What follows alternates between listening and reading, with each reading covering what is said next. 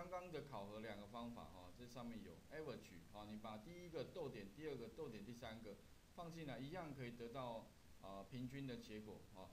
那笔试的话就是啊这个乘上零点三，这个乘上零点七的加的这个结果哈，就是笔试的成绩。那合计就两个相加哦。呃，不过题目是有讲说要取到小数点第一位，外面可以再包一个 round 啦，哦，round 你加或不加其实都可以的，好，OK，好，那名次部分的话就是用 rank 点 EQ，好，这个应该没问题。那最后的话呢，还有一个部分就是说，哎，如果我做完之后啊，假如有那个驻专，哦，然后领主、办事员、助理员，那这些后面该怎么做会比较快哦？跟各位讲，但。哎，要不就是你把这个公式复制贴过去，啊，这个公式复制贴过去，这样复制，哦，然后把它取消，贴到领主这边把它贴上，贴上之后打勾，这也是一个方法。你再把它向下填满。不过我是建议各位哈，有另外一个方法更快，你不用这样贴，不然贴你要贴七次啊。最快的方法就一，请你先把这四个工作表一起选起来。你只要做一个工作表哦，做完之后，接下来就是把这后面啊，总共会有四个工作表哦，你就按 Shift 键，先选第一个柱砖，再按 Shift 键点助理员。哎，你会发现哦，这四个一起被选取是变成同样颜色。那接下来你只要做 刚刚的动作哦，重复做，就是做什么呢？把这个打这个公式哈，游标放在上面。把它打个勾就可以了。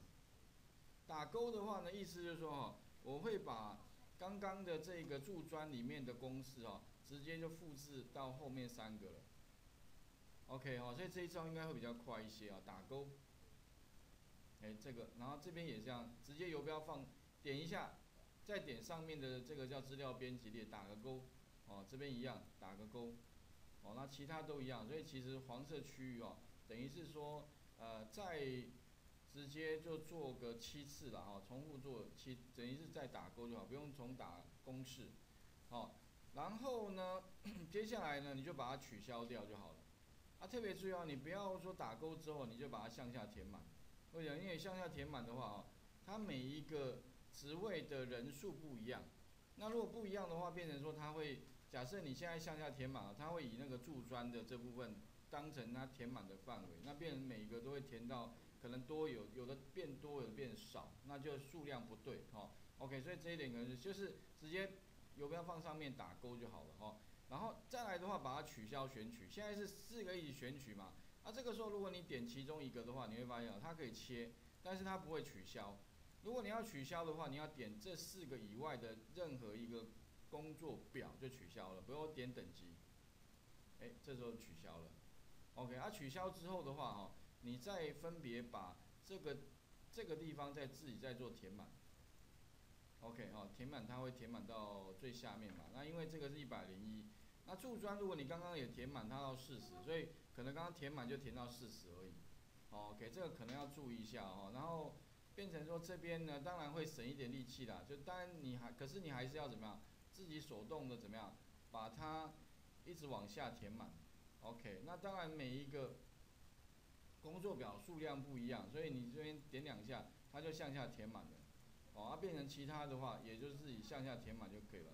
那这样的好处就是你不需要把公式哈重新再做过一遍。好，那助助理员也是一样，好，分别把它向下点两下。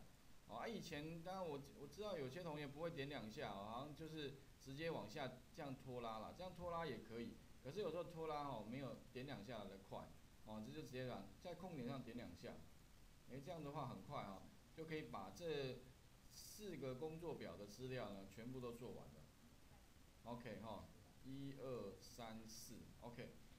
那待会的话我们再来看哦，哎，如果我要把它变成 VBA 的话，所谓的 VBA 就是说哈，这四个工作表，我希望呢有个按钮按下去，啪啪全部都做完了。